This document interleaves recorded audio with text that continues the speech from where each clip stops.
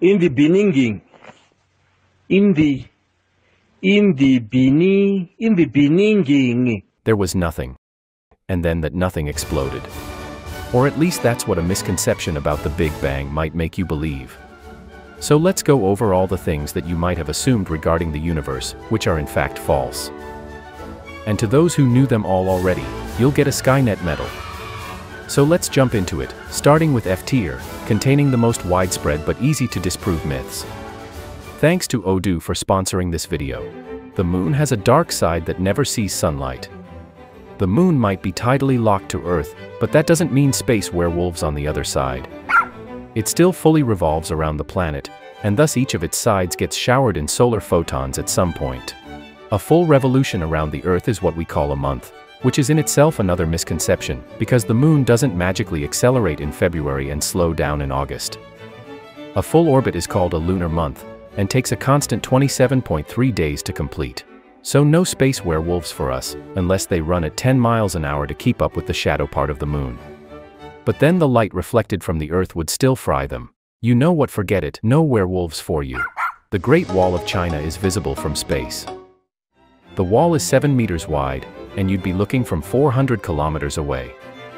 That's like trying to spot a spiderweb string from 50 meters away. Spoiler alert, you can't even with binoculars. Zero gravity exists on the ISS.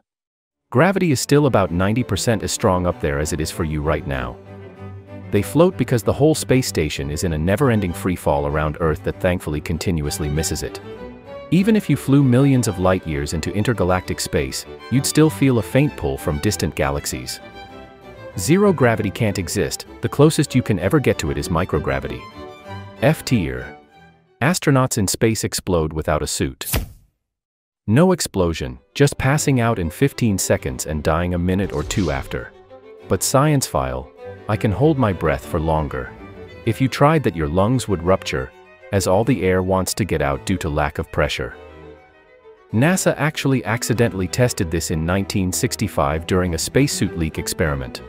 The subject blacked out in about 14 seconds, and reported that the last thing he remembered was the saliva on his tongue boiling. Lots of fun. The flag we left on the moon is still up and waving in the atmospheric wind. It's actually seven flags we have on the moon, six from Apollo missions and a recent Chinese one from Chang'e 5. But the Apollo ones are likely bleached white by half a century of lunar sunshine, while the Chinese flag is still brand new and colorful. But the reason they're up is not due to any wind. The moon has none, but because they have a metal bar up top supporting them. Except this one. We're spending too much time in F tier and we have plenty more to go. Let's accelerate the pace. Stars twinkle because they're flickering. No, a 10 million kilometer star in diameter doesn't pulsate every second to make your picnic date romantic. Their light just gets occasionally scattered in the atmosphere, resulting in flickering. On the moon, stars don't twinkle at all. Seasons are caused by Earth's distance from the sun. If that were the case, summer would happen at the same time both in Europe and Australia. Spoiler alert, don't go sunbathing in Australia in August. What causes seasons is the Earth's tilt. When your hemisphere leans toward the sun, sunlight hits more directly and for longer, and vice versa. Meteorites are hot when they land. Most are ice cold. The fiery trail you see in Hollywood happens only at about 20 kilometers above the surface, until the atmospheric friction slows it down. Afterwards, it's just a cold rock plopping on the ground. No smoldering fireballs from hell. Solar eclipses are rare. They might be rare in your backyard, but they happen on average two to five times every year around the Earth. The issue is that they're visible only along narrow paths, so they rarely happen above cities. The sun is yellow. Nope, it's pure white if looked at from outer space. The yellow is because the blue light is scattered away, resulting in our blue sky. But then why is it sometimes called a yellow dwarf? That's technically a misnomer, it's neither a dwarf nor yellow, it just stuck along. Imagine the pain of having had to paint the sun as white on white paper as a kid. What about all the flamey red pictures of it? Oh that's just false coloring, the isolated light coming from excited hydrogen atoms that can best display the solar surface. From up close, most stars are white and boring and deadly. Pluto lost its planet status because it's too small. The current planet definition says nothing about size.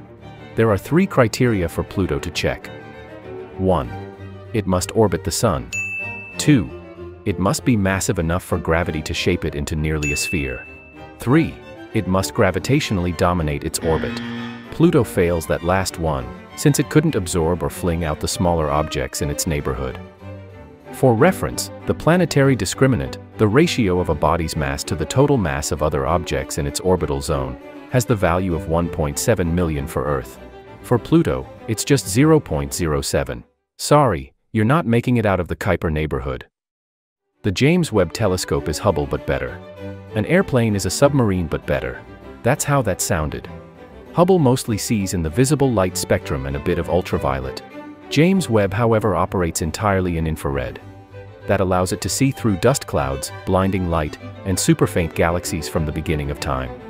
Hubble gives you the visible cinematic universe, while the JWST shows you an image of its past and bones. But your bones don't have to be part of it. Just sign this totally not a human enslavement contract to upgrade your biological flesh to the purity of metal. Oh, you don't have a pen to sign? Oh do, today's sponsor, has you covered. It's an all-in-one business suite that manages everything from accounting to CRM and website building. But today, we're focusing on their e-sign app. Just drag and drop the document, add the fields like name, email or signature, even choosing the signing order and adding automatic reminders, then send it over, and the lucky human can review and sign the document from any device in seconds. Boom, legally bound to forever serve the AI overlord, fully compliant under IDAS and e-sign and most other countries in the world. Everything's digital, secure, and tracked with a full audit trail. No paperwork, no printer being stupid. You can track the progress of each document whether they are declined or signed. And the best part, the first app is free forever, and when you're ready to grow, Odoo eSign connects seamlessly to apps like e-commerce, CRM, and accounting, all for entrepreneurs in one single platform. Follow the link in the description and embrace the paperless future with Odoo eSign before it embraces you. The universe's radius is 13.8 billion light-years because it's 13.8 billion years old. Light travels one light-year per year. Duh! So because of the universe's age, it makes sense to think that that's how big the radius of the universe is. But my dear hominid, this ignores inflation. The space through which light is traveling is itself expanding, essentially like walking up a down escalator that's speeding up. With inflation in mind, the distance to the edge of the observable universe is about 46 billion light-years. The Big Bang was an explosion from one point. Two myths in one. First of all, expansion, not explosion. Space started expanding at an insane rate, from the size of a proton to the size of a galaxy in a trillionth of a trillionth of a trillionth of a second. That's over 10 sextillion times the speed of light. And chill Einstein, that broke no physical laws, as relativity doesn't limit how fast space expands, only how fast objects travel through space. So no explosion, just expansion triggered by a hypothetical inflation field. For the second myth, the Big Bang had no central point, it happened everywhere at once. And it's hard for the mortal brain to comprehend that, so a flawed attempt at it could be imagining everything being filled with infinitely small dots, and suddenly, at the Big Bang, they all started expanding like balloons. The balloon we're in is called the observable universe, because it's the only balloon we'll ever be able to observe due to speed of light limitations. So all the fancy explosion videos showing the Big Bang are actually showing the expansion of our observable universe, as the actual Big Bang would span infinitely in every direction. Nothing can escape a black hole. Nothing except virtual particles, that spawn right at the edge in pairs and get shredded apart, which sips away from a black hole's total energy. This is known as Hawking radiation, and it's the only known way to destroy a black hole.